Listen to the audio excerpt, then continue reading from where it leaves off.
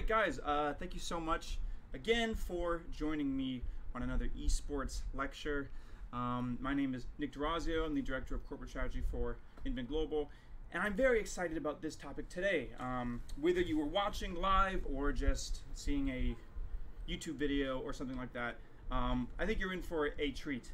The history of esports is often uh, uh, talked about, but I think the actual nitty uh, the details as to how esports exploded in South Korea is uh, fascinating. Uh, it involves uh, drama, it involves intrigue, it involves a huge um, financial crisis, and it also involves an act uh, of generosity. So, um, without further ado, let's get started. So, we know that South Korea is the birthplace of esports, but how did that happen? Um, you often hear people um, attest to a Korean dominance, and they say uh, throwaway phrases like, "Oh, well, it's just Korea," or you know, uh, Koreans are just very good at video games. But it's actually not quite uh, that simple.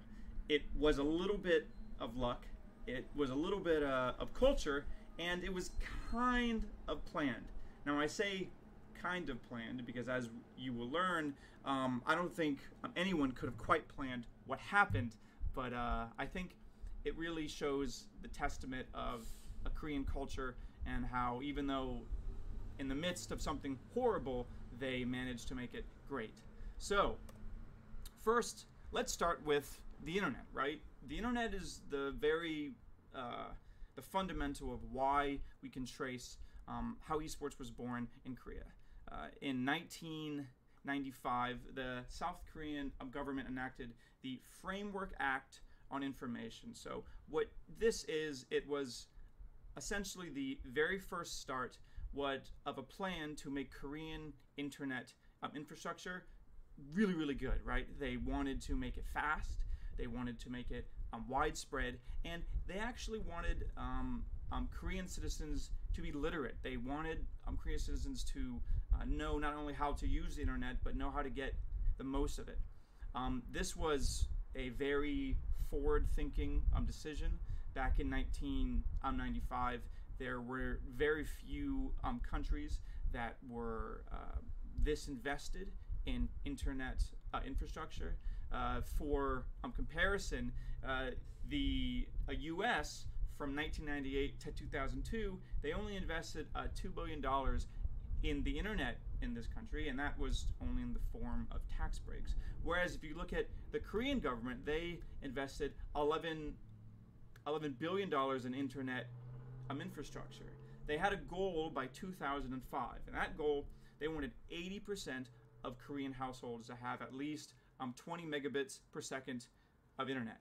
Now the thing is, that goal um, wasn't reached. You know, it came to 2005, and the internet speeds weren't nearly that good. So the Korean government they doubled down, and by 2009 they managed to get speeds up to 100 um, um, a megabit per 100 a megabits per second per household.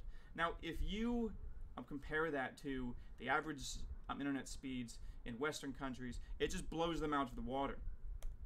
However, it takes more than just fast internet to change a culture, right? If you just all of a sudden give everyone, oh, here, you now have fiber optic, it still wouldn't matter in some areas of the country. So people needed to adopt the usage of the internet.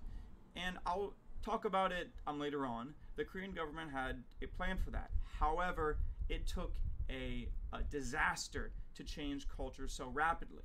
And that disaster was the Asian financial crisis of 1997. Now, this was a very, very um, dark time for a lot of Asian um, countries. Uh, uh, South Korea, uh, Thailand, the Philippines, uh, Malaysia, Singapore, and Indonesia, all of them were hit very, very hard. But um, South Korea was hit in a very uh, particular way that made a lot of their young talent uh, jobless. The chemical and heavy industry that uh, South Korea um, relied on to employ a lot of um, graduate students or postgraduate students were just gone. So again, we look towards what the a Korean government was doing then. They were investing in IT. So people started to look towards towards IT jobs as the way forward. People started to look towards their fast internet as a way that maybe we can come out of this recession, we can come out of this huge um, financial uh, crisis. So, meanwhile, the Korean government continued its internet um, infrastructure plan. Now, this often goes untalked about when talking about why uh, Koreans seem to be so dominant at esports. Well, it all starts with education. The Korean government uh, started the 10 million people internet um, education program, which is a very literal name, and their goal was to increase computer um, literacy for 10 million um, Korean citizens. Now, this part is very important. This was computer literacy through the disabled, through housewives, and those um, in military service. Now, it was um, particularly focused on those who would otherwise not be uh, interested in the internet, which again, uh, back then was a budding technology. It wasn't as uh, widespread as it is now. So if you look at um, other countries, you know, we'll use the U.S. Um, as an example. Uh, there wasn't um, anywhere close to this widespread um, education. Obviously, it was a lot easier for Korea because it's um, so small, but this was something that was a huge bit of importance for them. So 10 million um, Korean citizens were all of a sudden going through um, government um, literacy uh, programs. They were using, they were learning that you could chat on the internet. Uh, grandmothers and grandpas were learning that they could chat with their sons and daughters through the internet. It was a huge, a very ambitious uh, project, but it turns out it's something that really, really helped um, Korean esports and many other um, industries there. So you have um, to ask yourself, what happens when all of a sudden millions of people are educated about the power and utility of the internet? Well, they demand faster speeds and more unreliable services. As if it wasn't enough that the Korean government was already focusing on the internet. Now that you've taught this society to crave the internet, they wanted it better. So Korean internet um, providers went through tons of competition. Everyone knew that there was this new hungry audience of people who demanded fast internet. So that means that the costs were lowered and the quality um, was increased. And this was all due to competition, right? Everyone wanted to capture this. So you have multiple uh, levels as to why Korean internet and internet culture was leagues ahead of any other countries. And it all started with this financial crisis. So, just a quick recap because things are going to get really, really dicey. Right now, we have it's 1997. The South Korean economy is in ruin. You have this entire uh, generation of young, skilled workers who are out of work. Now, the internet is now more, more popular, faster, and more accessible than ever before. If you try to think through all of that cocktail of things, what's going to happen? What are the um, effects, and how is this going to affect um, um, the society? Now, obviously, there's the spoiler alert. We all know this is a discussion a about esports. Um, but these young and unemployed, they become power um, internet users. They had a lot of free time. They had a lot of time to just uh, sit around using the internet. And this is when instant um, chat messaging in South Korea exploded in popularity. Um, there's actually a funny little uh, bit of trivia here. Um, it's considered very rude, or at least it was back then. It was considered rude to not um, respond to someone's instant message with a speed and quickness in South Korea, which is the complete opposite of culture um, in the West. But you can start to see why these type of cultural um, differences begin. If you would assume that um, the rest of your peers are power um, internet users, the concept of just not logging on or not being online was scarce there. There's also all sorts of other things that grew in popularity. Uh, stock trading in South Korea became a very empowered industry due to their fast internet and accessibility. Um, South Korean stock traders were able to see the um, results of their trade in real time and for very cheap. This phrase is one of the first phrases that I learned when I first visited uh, South Korea. Uh, bali bali, it means hurry, hurry, you know, hurry up. I probably said it wrong. But it really became a symbolic um, phrase or word for how um, Korean culture uh, started to change. Their internet was faster. Their young people became internet power users. So, you know, um, internet a culture is fast, and as a result, um, Korean culture um, became fast too. In um, a national uh, polls, I believe it was 43% of Koreans, and this was back in 2008. 43% of Koreans um, considered themselves uh, new adopters of technology, which is just a huge percentage of people compared to um, other countries. Um, especially when you consider that the Asian cultural, uh, I guess, values at the time were not one that was rooted in speed and quickness. In fact, in China um, and Japan, it was about being stoic and calm um, in the face of a hurricane of, of work and adversity. But Korean culture started to um, differentiate, um, um, differentiate itself. So um, South Koreans, they wanted fast internet. They wanted fast changes, and they truly looked towards the internet and technology to change to uh, save them from this financial crash. So enter the PC bang, right, or the PC bong, if you want to say it within you know the accent. Uh, this right here is just a screenshot of the um, original uh, StarCraft. You got a little seems to be some sort of boba tea there. This is the um, definitive moment in which uh, South Korean uh, gaming culture became one that the world would soon begin to uh, uh, recognize. So these um, PC bongs they became an oasis for the young, the jobless, and the disheartened.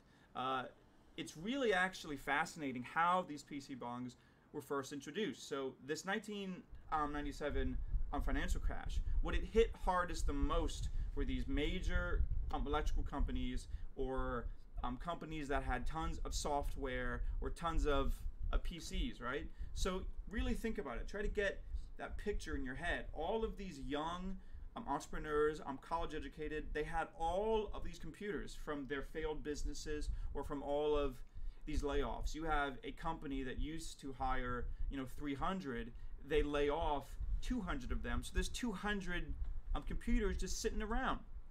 So these entrepreneurs saw this and said, okay, let's create this business model that's based around all of these computers we have.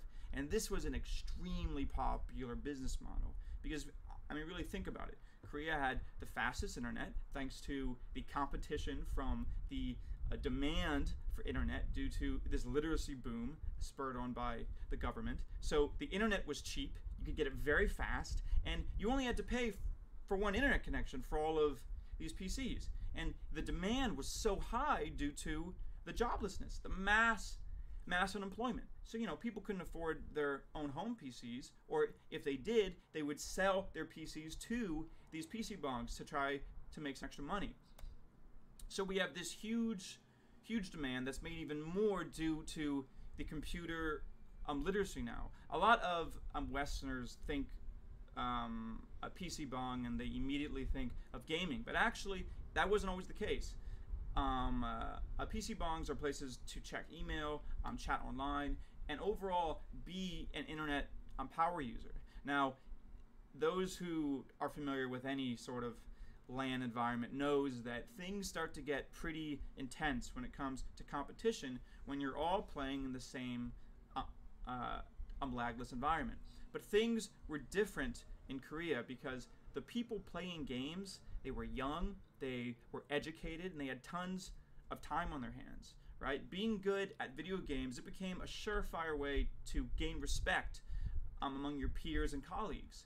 Um, um, unlike the West, where there was tons of negative um, connotations with video games, you know, uh, the arcade scene was pretty much the most mainstream. But even then, the competitive titles were few and far and far between.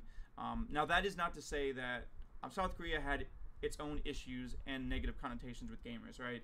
Um, in South Korea, problems of internet addiction, um, um, internet anxiety, um, ladder anxiety, like these, these became very, very real, and you can start to see why, right? This financial crisis left a hole in a lot of young people's sense of self and self and sense of worth, and that hole was filled through competitive gaming. Now, some people you know, they took it in the best possible way and they said, I'm going to game to my very hardest and have all this mastery, exude this confidence. But, you know, like other people um, took it very, very uh, personally when they lost, and that kind of became the negative stereotypes.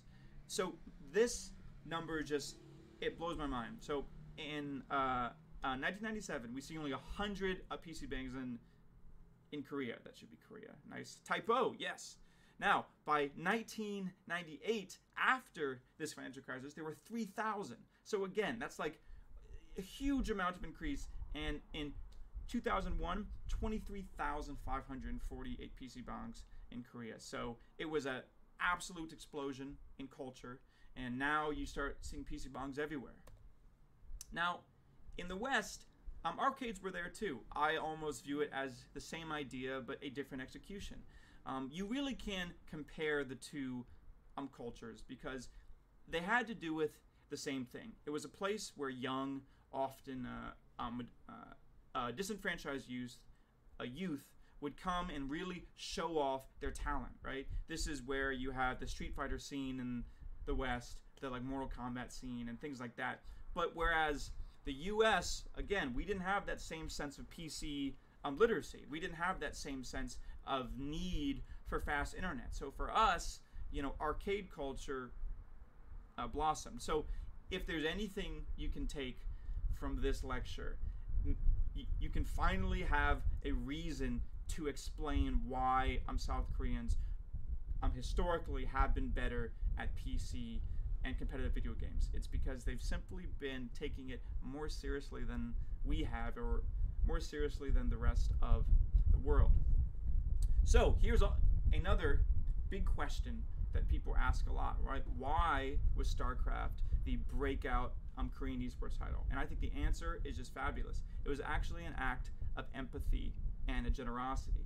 You see, a StarCraft was first published in Korea by a company called LG um, Electronics. This company, just like many, many others, were forced to downsize due to the financial crisis. So, uh, managing a staff member at LG Soft, he made a, a bold decision. He started his own a startup with, again, the intent to uh, publish and uh, to uh, publish video games, but he called it um, Hanbitsoft. And the first thing that Hanbitsoft, it could be pronounced Hanbitsoft, so sorry if I'm pronouncing that wrong. The first thing he did was he gave copies of StarCraft for free to the emerging uh, PC Bong uh, community. Um, you know, these people who ran these PC bongs, they were just like him. They were people laid off. They were people furloughed. So rather than charge for um, the license to play StarCraft or even charge for the copies of StarCraft, which, by the way, um, back then you needed an individual CD and CD key for each PC. And if we go back to that number, you see how many PC bongs were there. It was a real act of generosity. Um, this, by default, made StarCraft the game that every single um, PC bong um, in Korea had. Now, you can argue um, whether or not it was an act of of generosity or whether it was just an extremely smart um, decision. But I don't think that anyone could have predicted just how um, competitive and just how entertaining um, these StarCraft matches um, would become. Uh, StarCraft was also, and again, this goes to when I said, was it a little bit of luck? Yes, because you know there could have been any game that these PC bongs could have gotten for free, but it just so happened to be StarCraft one of the best made, best balanced uh, competitive titles of all time, especially back in in um, the 90s. So there's many other factors as to why um, South Korea was the birthplace of esports, right? Um, I mentioned this before, but in 2004, a, a national survey showed that 43% of Koreans consider themselves early adopters of technology, right? Uh, this also combined with the embracing of edutainment, right? When someone, this is the um, combination of education and entertainment. Um, Koreans have always embraced this at much higher rates than other countries. Uh, this led to the happy marriage of um, high uh, of high academics and esports. You know, you had your best and brightest um, um, playing these games at a competitive level, hanging out at these PC bongs and you know this idea of being a pro gamer as something that is positive that started in Korea. You know these ideas of um, intelligence, um, aptitude, um, keeping calm, uh, keeping a, a disciplined. These are not only highly um, desired traits within an esports competitor, but it's also highly um, desired trait in Korean um, academic uh, culture. So, in summation, right, there was tons of reasons as to why esports is massive in Korea, but it really, really started with these four things. The Korean government invested early in internet speeds and computer literacy. This created a generation of internet um, power users. And again, not only were they internet um, power users, but they were mothers, they were grandfathers, they were people who you wouldn't normally um, associate with using the internet in uh, um, the 90s. This financial crisis that hit South Korea, it forced them to embrace internet, and it left a lot of discouraged uh, young people with a lot of time on their hands. They flocked to um, a PC uh, a PC bongs, and competitive gaming was born. It was flourished. And again, that one act of generosity made StarCraft, which was also one of the greatest design esports of all time, you know, a shout outs to a Blizzard for that one. It made it the most popular and accessible game in South Korea.